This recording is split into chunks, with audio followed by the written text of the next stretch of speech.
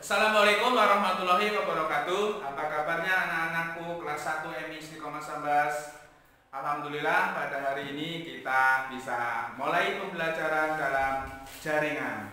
Walaupun kita belum bisa bertatap muka Insya Allah kita tetap semangat.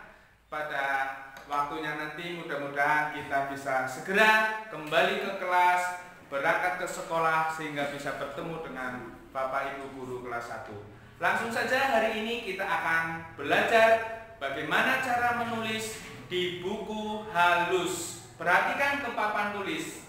Perhatikan juga di buku tulismu. Sudah buka buku, buku, buku tulisnya? Alhamdulillah kalau sudah buka.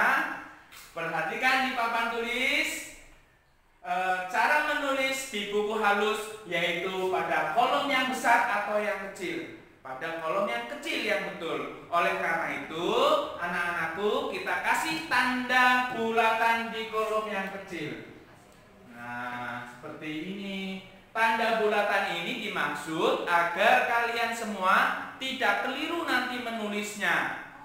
Karena ada kolom yang besar, ada kolom yang kecil, menulisnya harus di kolom yang kecil, tidak kolom yang besar. Oke, boleh dibantu sama ibu sama ayah di rumah. Kalau sudah, kita kasih tanda bulatan lagi di bawahnya. Artinya, setiap kalian ingin menulis di buku halus, kalian harus kasih tanda bulatan agar tidak keliru. Oke, kalau sudah kasih tanda bulatan, kita akan tulis huruf atau kata atau kalimat nanti di tanda bulatan tersebut yaitu di kolom yang kecil. Misalnya Pak Guru akan menulis huruf A seperti ini. Iya. Habis apa? B. Habis B apa? C. Nah, oke.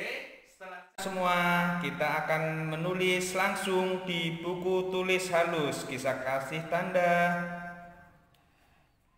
A.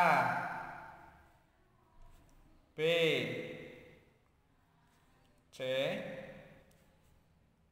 D. Perhatikan huruf D jeretnya tidak terlalu ke atas.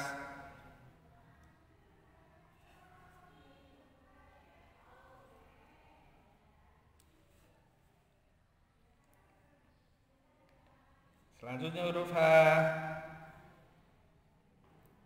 I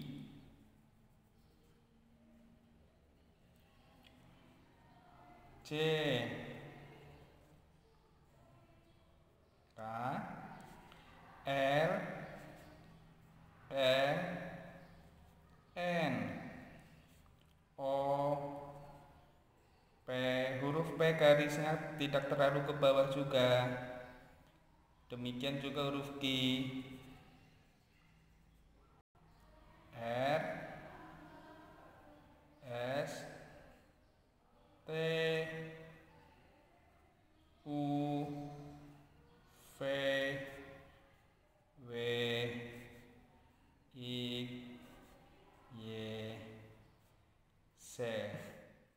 Demikian anak-anakku kita telah belajar menulis di buku tulis halus dari huruf A sampai dengan huruf Z.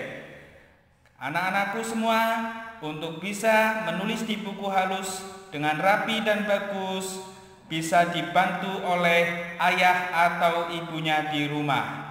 Selamat mengerjakan, selamat menulis, selamat berlatih. Terima kasih dari Pak Budi cukup sekian.